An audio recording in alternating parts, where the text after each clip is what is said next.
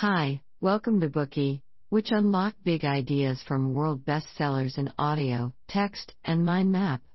Please download Bookey at Apple Store or Google Play with more features. Get your free mind snack now. Today we'll unlock the book The Body Keeps the Score Brain, Mind, and Body in the Healing of Trauma. Let's first hear a story. Marilyn was a tall, athletic looking woman in her mid 30s who worked as a nurse. She met a fireman named Michael while playing tennis at the sports club, and the two began a relationship. They often talked about tennis and movies together. Marilyn said that she usually avoided men, but this relationship gradually made her feel comfortable. As they got closer, one Saturday evening, Marilyn invited Michael to stay over at her apartment. She described feeling uptight and unreal as soon as they were alone together, having very little sense of what would happen next. After a few glasses of wine and several episodes of a TV show, they fell asleep together in bed. At around two in the morning, when they were fast asleep, Michael turned over. When Marilyn felt his body touch hers, she exploded, pounding him with her fists scratching and biting, screaming, You bastard, you bastard. Michael startled awake, grabbed his belongings, and fled. After he left, Marilyn felt deeply humiliated and hated herself for what she had done.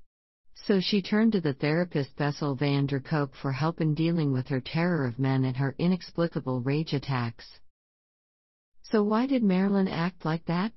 After several treatments, van der Kolk found that Marilyn had never been able to let go of her childhood experience of sexual assault by her father.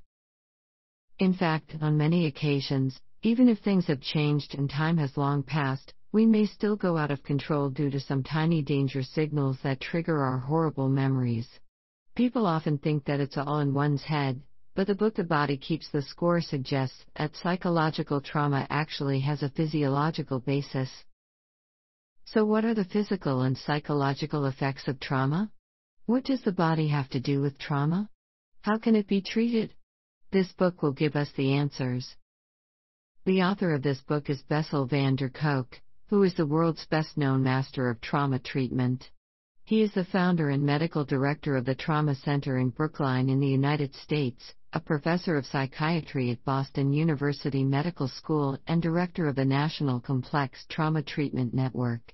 With more than 30 years of experience in cutting edge research and clinical practice in the field of psychological trauma, he is an expert in both medication and psychotherapy, with a creative insight on trauma. He also frequently conducts in depth exchanges and cooperation with all the founders of major trauma treatments in the United States. As one of the authorities in the field of psychological trauma treatment, his theory has greatly influenced the mainstream approaches to trauma treatment today. In this Bookey, you will embark on a three part journey of learning about trauma and its healing. Part 1 The Physical and Mental Symptoms of Trauma. Part 2 The Physiology Behind the Unforgettable Trauma. Part 3 Tradition and Innovation in the Field of Trauma Treatment. Let's look at Part 1 The Physical and Mental Symptoms of Trauma. Psychological trauma is a difficult topic to deal with, often filled with indescribable anger, shame, fear, violence, and all intense emotions that we are unwilling to touch. Generally speaking, psychological trauma refers to the abnormal physical, mental, and emotional states caused by severe traumatic events. This abnormal state can be cured automatically after a period of self adjustment, but the effects of some psychological trauma can last longer or even a lifetime. For severe psychological trauma, it is defined as post traumatic stress disorder in the classification of psychological and psychiatric disorders. Let's start with the earliest stage of life, childhood, and see what far reaching damages early trauma can leave us physically and mentally. When we enter this world as an infant, it is our mother who nurtures us with sweet milk and touches us with gentle fingers. The intimate skin to skin contact makes the baby feel extremely warm and safe. During this time, the mother satisfies almost all the needs of the baby and they form an initial attachment. Based on thousands of hours of observations of mother child behavior, American scientist Ainsworth concluded that to meet their own basic needs, children develop three attachment patterns secure attachment, avoidant attachment, anxious or ambivalent attachment. Whether the attachment is secure or not makes a huge difference in children's emotional development over the course of their lives. So let's see how the three patterns of attachment develop.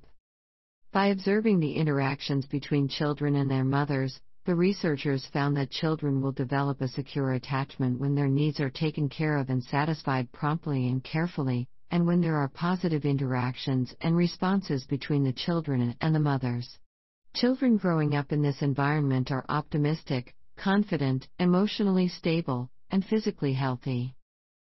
On the contrary, if the mother is always distant and indifferent to the child's emotions, often ignoring to satisfy the child's needs, the child will feel that they are unworthy of love and develop an avoidant attachment. Children with an avoidant attachment also show neglect and indifference to their caregivers, and they are emotionally closed off. Their chronically increased heart rates show that they are in a constant state of hyperarousal, which has a series of negative effects on the growth and development of children. Finally, children with an anxious or ambivalent attachment pattern often come from an environment with unstable emotional nurturing. If they behave well, parents will love them and satisfy them. If they misbehave, parents will reprimand and pick on them. Children with this attachment pattern easily get anxious, agitated, aggressive, and often have a weak immune system. In recent years, research on childhood trauma has found that long term neglect, separation, abandonment, and other emotional abuses, as well as physical abuse, can cause psychological trauma in children. The book points out that this kind of trauma is actually a disruption of a secure attachment. A secure attachment is the child's inner sense of safety. Failing to develop secure attachment in children will leave them with a vulnerable physiology, leading to many physiological problems, such as low heart rate variability, increased stress hormone activity, sleep disorders, unexplainable pains, and hypersensitivity to touch and sound. At the same time, those who do not feel safe in their early childhood will have difficulty in controlling their emotions and reactions when they grow up. They tend to have various mental problems, such as unstable self awareness, repeated self injury and suicidal impulse, attention and cognition deficit, depression, frequent interpersonal tensions, and so on. These are all the post traumatic stress disorders caused by impaired attachment. More importantly, the early experiences will run through and affect our lives through adulthood. Having a strong sense of security and warm memories of protection in childhood is crucial to preventing mental and social problems throughout our life. The book cites a study by Dr. Robert Anda, which identified child abuse as the gravest and most costly public health issue in the United States, with overall costs exceeding those of cancer or heart disease. The study concluded that eradicating child abuse in America would reduce the overall rate of depression by more than half, alcoholism by two thirds, and suicide, for drug use, and domestic violence by three quarters. Besides the trauma caused by improper parenting practices in the early years, car accidents, major diseases, and war experiences in later years will also cause severe trauma. Tom is a veteran who had been on the battlefield in Vietnam. Although he had left the battlefield for over 10 years and had become a successful lawyer, National Day was the most painful day for him. The noise, the fireworks, the heat, and the dense summer foliage, all of which reminded him of Vietnam, would drive him crazy. When he got upset, he was afraid to be around his family, because he behaved like a monster with his wife and two young boys. What's more, his mind often flashed back an image of being ambushed in the jungle. Tom was on patrol with his companions. Suddenly, a hail of gunfire spurted from the green wall of the surrounding jungle, hitting the men around him one by one. All the members of his platoon were killed or wounded in a matter of seconds. His best friend Alex died in the rice paddy with his face down, his feet in the air. He would never get the bloody image out of his mind. Tom's trauma is rooted in the memory of war that was lingering in his brain. The sound of the popping of firecrackers on the 4th of July would remind him of the sound, smell, and images of the ambush, and made him feel paralyzed, terrified, enraged, and ashamed again and again. After so many years, the scenes on the battlefield in Vietnam still entangled him like a nightmare, making him completely unable to enjoy his present life to the fullest. Van der Kolk found that people who have experienced war are especially at high risk of going out of control emotionally. Tom often flew instantly into extreme rages because of some tiny triggers.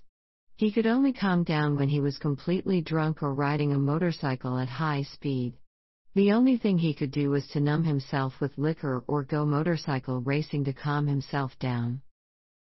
In addition to uncontrollable rages, the worst symptom of trauma in war veterans is emotional numbness.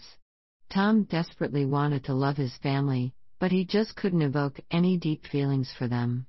He felt emotionally distant from everybody. He felt alive only when he threw himself into work. Finally, trauma also confuses perception and damages the imagination. Patients often suffer from auditory and visual hallucinations, which could be misdiagnosed as a case of paranoid schizophrenia. They are tormented by painful past experiences that always pull them back to the intense involvement and emotions of the past, making them unable to perceive and envision a new life. The book The Traumatic Neuroses of War describes war trauma in which the victims became withdrawn and detached, even if they had socially functioned well before the war. These were called traumatic neuroses. Today we call them post traumatic stress disorders, PTSD.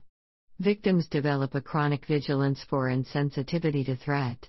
Some people often suppose it is all in one's head. But the author emphasizes that this is a post traumatic stress response, and that it has a physiological basis. These post traumatic symptoms have their origin in the entire body's response to the original trauma. In the early 1990s, new neuroimaging techniques helped us better understand the effects of trauma on the brain and physiology. When researchers scanned trauma patients' brain, they found that when the simulated scenes from traumatic events were recreated, the intense emotions activated the brain's alarm system, the amygdala. It is well known that activation of amygdala triggers the release of a series of stress hormones and nerve impulses, driving up adrenaline, blood pressure, heart rate, and oxygen intake, preparing the body for fight or flight. It can be seen that even years after the traumatic experience, the body keeps the score. Those horrors and threats and painful memories will flash back to real life at any time. Everyone has memories, but the memories of traumatized people are different from the normal memories we have when we recount everyday events from the past. Traumatic memories are fragmentary, dissociated, flashback, and messy. They are the dark sides that people are unwilling to touch in life. These memories exist on the subconscious level, and the brain especially retains the memories of insult and injuries very well. The more adrenaline the body secretes, the more precise the memory will be. As a result, when traces of memories such as sounds and images are reactivated, people automatically relive the same emotions, sensations, and feelings they experienced in a traumatic event. The lives of trauma patients are often in a dual state, leaving them unable to distinguish the present from the past. They cannot enjoy the real life in the present to the fullest. The scar from the traumatic experience changed everything about them. That concludes the first part the physical and mental symptoms of trauma. To sum up, there are three patterns of attachment that people develop in their early childhood secure attachment, avoidant attachment, anxious or ambivalent attachment. An insecure attachment can have long term physical and mental effects.